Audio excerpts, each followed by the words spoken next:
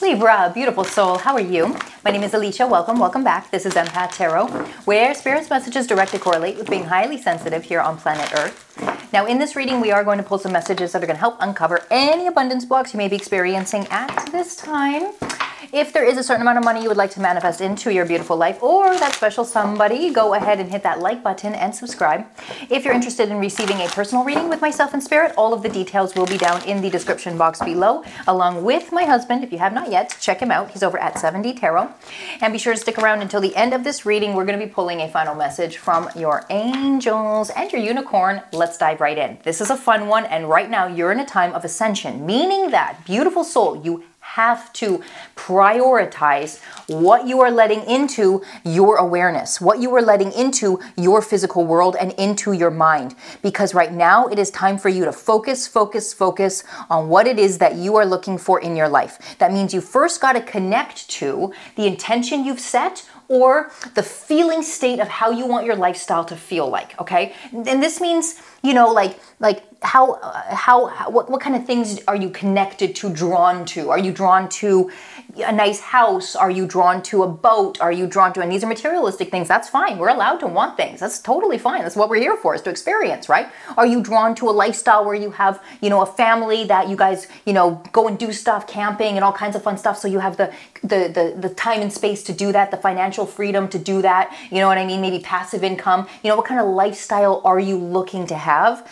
Because that is going to indicate your actions of today. But that does mean that you are going to have to be mindful of anything that doesn't match that frequency anymore. Those movies, those TV shows, those things we listen to, those things we watch, if they have a low frequency attached to them, they're also going to affect your frequency, right? That means we've got to clear that stuff away. We've got to be mindful of that. Those people in your life that complain a lot, that talk about their lives in a negative way, you got to clear that out because that's going to influence you as well. You've got to be real with yourself now about what you've got to prioritize and what you've got to simplify. Time to let go. Look at her look at her little note here.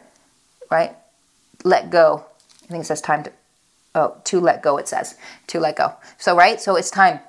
It's time to let go and it's time for you to reconnect back to your truth. Reconnect back to your ancestors, reconnect back to your spirit guides, reconnect back to your galactic family, right? We're all we're all, we're all a star seed from somewhere, right? Check that out. Check into that, right? We're we're created from something, right? So at the end of the day, it might be a, uh, more useful for you right now to reconnect back to your truth so that you can get the results you want in this game of life. And that means you're going to want to disconnect from the world around you and you're going to want to reconnect to your inner world because it's your inner knowing anyway that's going to guide you forward. You know what I mean? So what happens is the more stuff you start to clear away out of your life that doesn't serve you, right? Thoughts, extra attention to food or like this or the next thing or what this famous person's doing or this person said at your work. It Does that affect your life? Does that help you make money? Does that help you get to the top? No. As a matter of fact, it's taking you out. What your, what your kids are complaining about, what your spouse is complaining about, you know what that does?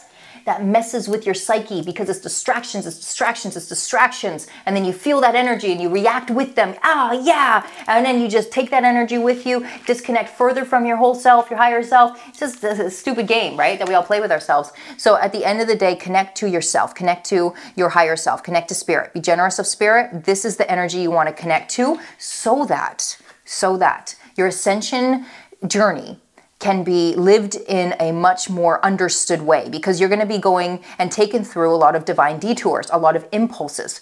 These impulses, okay, are going to guide you through your journey because your impulses lead you through different experiences that allow you to better understand yourself, better understand what your truth is, and better allow you to make accurate decisions that come from a place of will. Because if we don't have a will to do something, we're, we're going to lose ourselves. That's why just clearing up the distractions right now help us have more power to dedicate towards that journey and listening and tuning into our impulse. Right now in the comments below, write this down. I am rich and confident. I am rich and confident. I am rich and confident. Write this down. Your words have power. And when you write things down of what you inspire, or aspire, or already am to have and understand, then that is what draws into your life. But if we say things that take away from us, they, right, we're reacting to our lives and reacting from our words, then we're going to be influencing ourselves in the wrong way. Remember, you're not your thoughts, and your belief system is just a thought you've continued to think.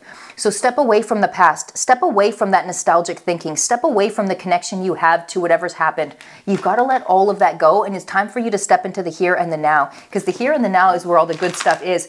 And you're being guided into a life of pure freedom, of the choice to live your life independently, whatever that means for you. Maybe that means making so much money passively you barely even work three hours a day. Maybe that means being able to spend more time with your family. Maybe that means connecting to a soul family or building a community you have like minded individuals where you all get along and are just in these high vibes all day.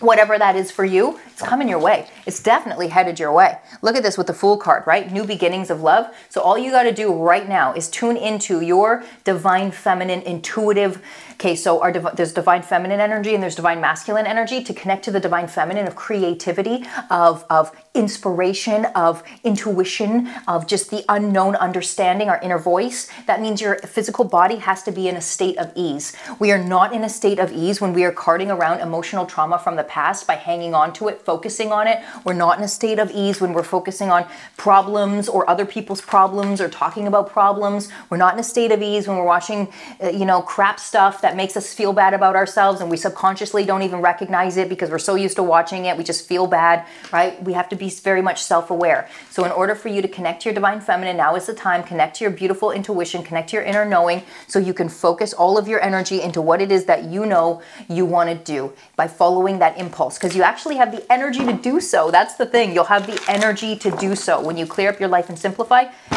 Fellow empaths, Celery juice, okay? Why? Because it's simplification. I no longer think about food anymore. It's no longer even a thought in my mind. I drink celery juice, no doubt, the entire day because it makes me feel grounded. I get natural salts from the minerals. Now, this is not pushing you to do that whatsoever. This is more an example of what simplification looks like. I have decluttered my uh, my relationships. I no longer I don't have uh, you know everyday relationships that I speak to. It's me, it's my husband, and that's it. Because if I had other relationships, well, I'd be giving my energy to them, right? I would be giving my focus to them. And I don't have time for that right now. I have time, I only have time for uh, the journey that I'm on and what's being guided and, and given to me.